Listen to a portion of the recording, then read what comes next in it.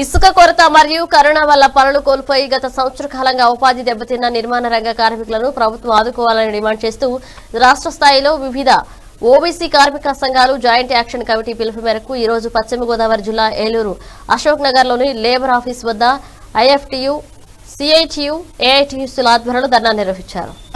ప్రకటించాలి! ప్రకటించాలి. లాక్డౌన్లో ఉపాధి కోల్పోయిన భవన నిర్మాణ కార్మికులకు పరిహారం.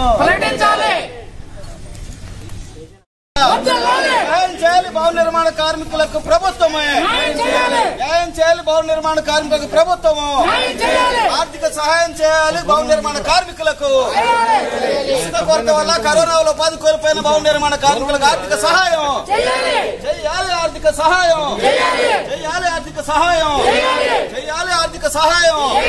ఇసుక కొరత వల్ల భవన నిర్మాణ కార్మికులకు ఆర్థిక సహాయం.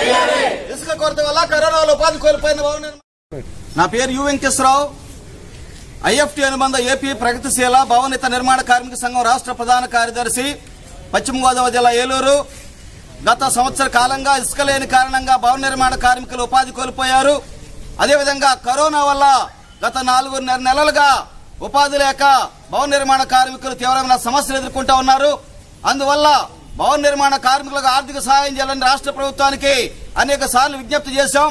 ఢిల్లీ ప్రభుత్వం గాని పంజాబ్ ప్రభుత్వం గాని కేరళ గాని అనేక రాష్ట్ర ప్రభుత్వాలు ఇప్పటికే భవన నిర్మాణ కార్మికులకు ఐదు వేలు పదివేల పలు చొప్పున ఆర్థిక సహాయం అందించాయి. కానీ మన రాష్ట్ర ప్రభుత్వం ఇంతవరకు ఒక్క రూపాయి కూడా ఇవ్వలేదు. కేంద్ర ప్రభుత్వం కూడా భవన నిర్మాణ కార్మికులకు ఒక్క రూపాయి కూడా విధించలేదు. అందువల్ల వెంటనే కేంద్ర రాష్ట్ర ప్రభుత్వాలు స్పందించి ఉపాధి కోల్పోయినటువంటి భవన నిర్మాణ కార్మికులకి నెలకు పదివేల రూపాయల చొప్పున ఆరు నెలల పాటు చెల్లించాలని పెండింగ్లో ఉన్న క్లైమ్లు పరిష్కరించాలని ఇతర సమస్యల పరిష్కారం కోసం ఈ రోజు ఐఎఫ్టియు ఏఐటిసి సిఐటి ఆధ్వర్యంలో ఈ ధర్నా నిర్వహిస్తూ ఉన్నాం.